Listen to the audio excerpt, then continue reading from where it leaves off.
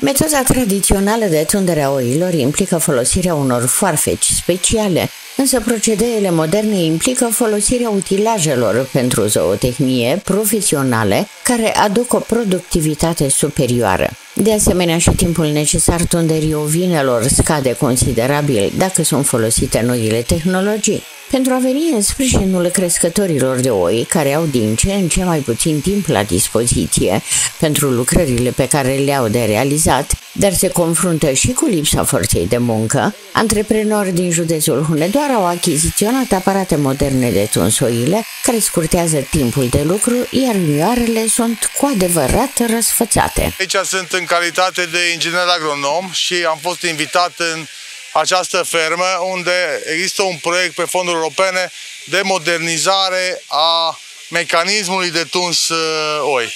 Uh, ce observăm este faptul că această firmă a avut ideea să achiziționeze mașini electrice de performanță în ceea ce privește tunsul și în același timp să încerce să uh, scurteze lanțul în ceea ce privește valorificarea lânii și uh, prin tundere se achiziționează și apoi se duce la centrele de colectare.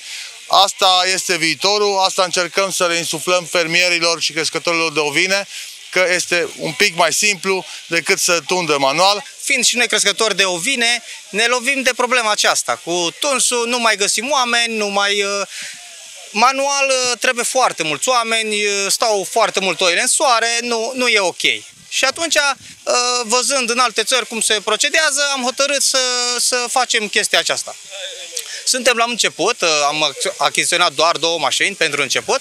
Uh, e primul an când tundem uh, automatizat și ne place. Vedem că funcționează, nu suntem dezamăgiți, din contră, chiar suntem mulțumiți de ce se întâmplă. Nu doar crescătorii de oi din județul Hunedoara se confruntă cu această problemă, ci din întreaga țară, iar hunedorenii care au implementat acest nou mod de a tunde ovinele mecanizat se gândesc să extindă afacerea și în alte zone. Nu numai noi ne lovim de problema asta, e o problemă generală la nivel de țară, la nivel de zonă. Uh, sunt foarte mulți crescători de ovine la noi în zonă și e o problemă mare, destul de mare. Și atunci am hotărât să facem chestia aceasta. Încântați de noul sistem de tundere a oilor au fost și cei care muncesc efectiv în acest domeniu. E mult mai bine din cauza că uh, la foarfecă, cum am prins prima oaie, paiul e foarte mic la anumite oi. Și cu forfeca manuală nu poți să bagi să tunzi chiar atât de jos cât e paiul. În schimb, cu mașina merge foarte ușor și rapid. La început, o oaie cu foarfeca tundeam undeva la 15 minute, 20. Acum depinde fiecare cât e de experimentat. Uh, cu mașina de tuns electrică, undeva la 3-5 minute, în funcție de... câștigi foarte mult timp. Față de tunsul tradițional cu forfeca manual, cu aceste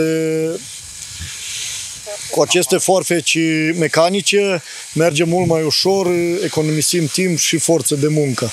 Mioarele au avut puțin de așteptat la coadă la salonul improvizat, însă rezultatul a fost unul apreciat de ovine.